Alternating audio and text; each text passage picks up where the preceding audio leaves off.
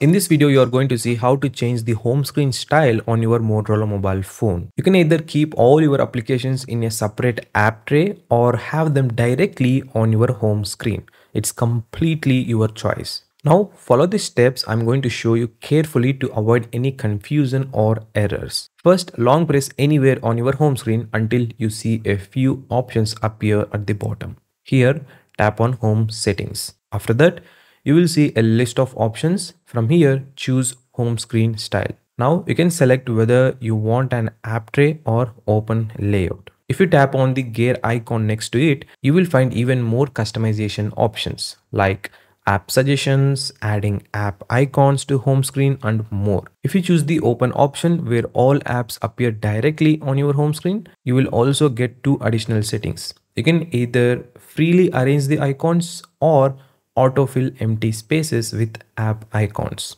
And that's it. Now you know exactly how to change the home screen style on your Motorola mobile phone. Don't forget to like and share this video so that we can reach more Motorola users just like you. And make sure to subscribe for more tips and tricks along with different gadget tutorials and reviews right here on this channel.